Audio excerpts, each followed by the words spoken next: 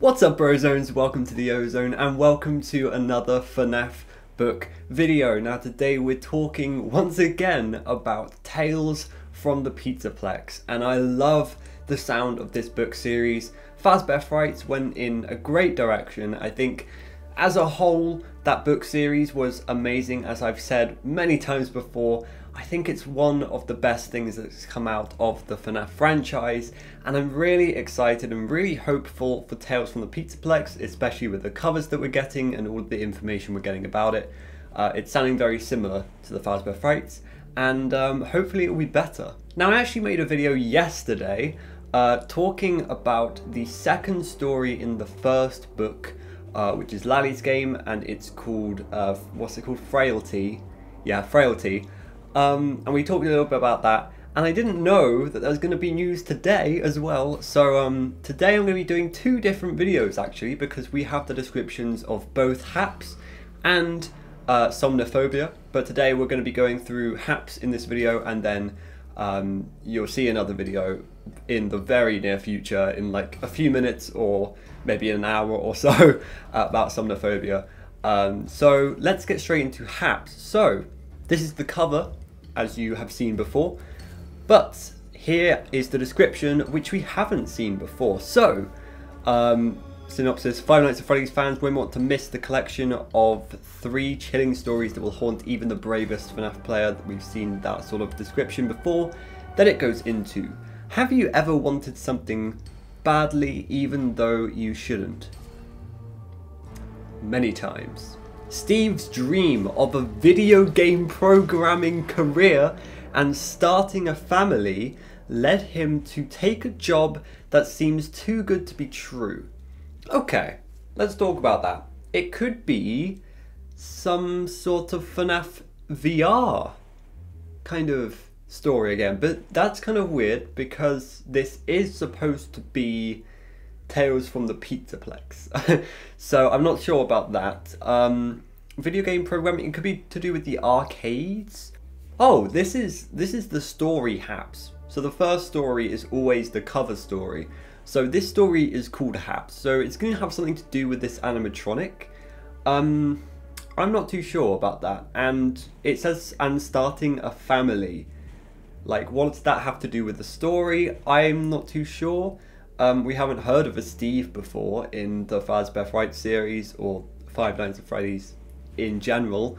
Um, yeah, this is this is strange. It seems too good to be true. It probably is too good to be true. There's obviously maybe with we've talked about Happs before and how it's kind of like a parallel to Sun and Moon where you've got two sides of Happs we don't know if this is actually what the animatronic looks like or if this is like two time periods it's showing, but it's clear that like Happs is kind of like alright in one sense, but kind of cursed and corrupted in the other sense. Um, and so there's a there's a massive theme of duality there, and I don't know where that's going to come in in terms of Steve? like, where what happens with Steve? Maybe Steve as a video game programmer programs. I don't know. I, I feel like it could be another in the flesh kind of story, which I would want. um, actually, I don't want to wish for that because I need to be careful what I wish for. Um, I don't know if it's gonna be like that though. I don't know if it's gonna be like VR based. That's that because that's something weird in this, right? It's it's like the video game programming part of it. Where does that come in in terms of security breach? I'm not too sure. Could be to do with uh, like Eclipse in the Balloon Boy World game. Not too sure about that.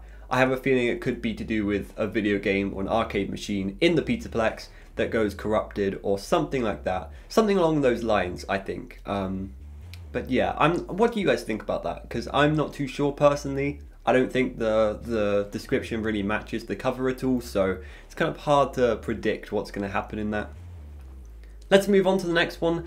Aiden and Jace can't resist scaring some young kids in the tube maze of Freddy Fazbear's Mega Pizzaplex. Well, that's just a horrible move.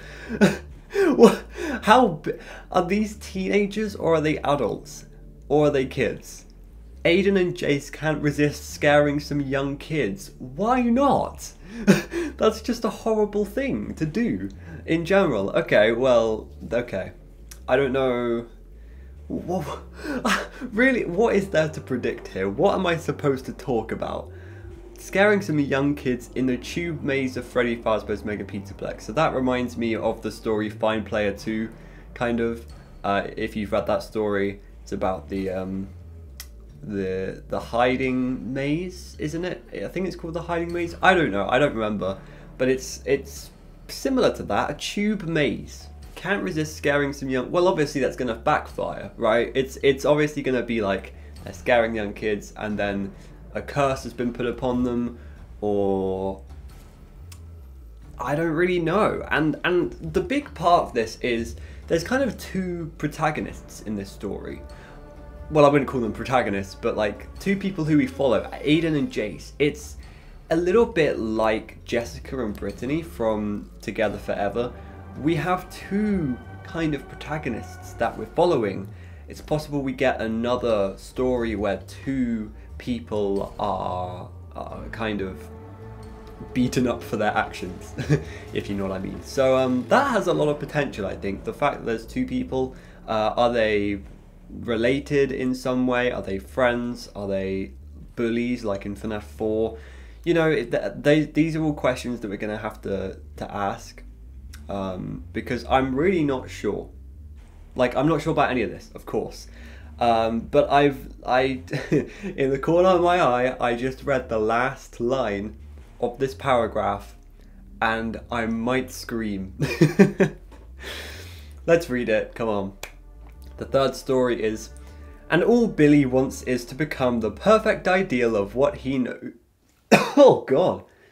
Let's start that again. I coughed in between. I still have COVID. And all Billy wants is to become the perfect ideal of what he knows he really is.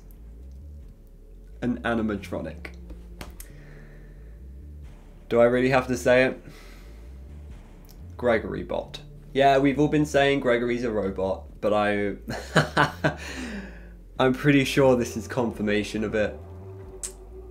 I'm pretty sure it's confirmation of it. I reckon um, Scott was like, you know what, let's put this story in just in case, just in case when Security Breach comes out, people don't actually find the clues that Gregory is a robot. So yeah, as much as we all hate it, um, I, I do think that Gregory is a robot. I do think that MatPat was right. Uh, again, unfortunately. But um, it, I don't know, it could tell us more about that. Again, I really feel like it was Scott's way of, of like having safety around himself just in case people didn't understand that Gregory could be a robot. Um, it's kind of brought that more to light just in case. Um, and all Billy wants is to become the perfect ideal of what he knows he really is, an animatronic. That's weird to me. That's really weird, and something that I've always thought about and would be a really good horror story is like someone who thinks that they're human, but they're they're just a, a robot. Like imagine me being a robot and I I don't know, look in the mirror one day and I realize that I have like red dots flashing in my eyes or something, and I realize that I am a robot. I've been a robot all along. That's like a really scary thought, and I really hope it goes down that kind of that kind of Black Mirror path, um, where it's like the evolution of technology and um, oh god, that that would be so scary. It kind of parallels like Charlie's adventures in uh, in the Silver Eyes trilogy kind of in the fourth closet especially. I really like that idea and I really like that they're bringing this kind of um, robot idea to life. Uh, and I'm really excited for this book in general. I think this is. I'm more excited for this than Lally's game, mainly because of that last story. Um, I always felt like in the Fazbear Frights, the first story was alright, but not the best. The second story was always the gory story, and the third story was the banger. You know, it was it was really always a really good story, um, and I think we're gonna get the same here. Honestly, I really do think so. Now that's pretty much all I have to say for this. I do want to get your opinions down below. The other thing I do want to quickly mention is that it is confirmed that we will have epilogues in these books. So in the first set of books, we had the Stitch Wraith Stingers, but now we're going to have a new series of epilogues. We're going to have a series of stories at the end of each of these books that go hand in hand and they're going to tell the story of something bigger and I'm hoping that it's going to be maybe about Patient 46 if it's a new character, possibly exploring Vanny, um, something to do with Afton or the continuation after Security Breach, maybe something to do with the DLC when the DLC kind of gets um, told about more, uh, when we hear more about that. Um, but are we going to see past characters? I don't think so. I mean, in terms of the Stitch Wraith, I think Detective Larson's um, story is kind of done. I think the whole Stitch Wraith arc is is finished. Um, we could get some more info about Afton. I really do think Afton will come back in these epilogues, just like he did in the Fazbear Frights, unexpectedly. Uh, I remember we basically all screamed when, uh, what was it, Blackbird came out, or was it The Cliffs, and we all realised that uh, Afton was actually in the Fazbear Frights. Um, but yeah, it's it's really it's really cool to hear that there's going to be more of what we were getting in Fazbear Frights in Tales from the Pizzaplex, and I'm so excited for this series. So let me know what you guys think. Are you guys excited as well? Um, make sure that you like, comment, and subscribe uh, for more content like this. As I said, there is another video on the way uh, about Somnophobia's description, so uh, stay tuned for that and I will see you later. But I've been Ozone. I have to go, Zone. Goodbye.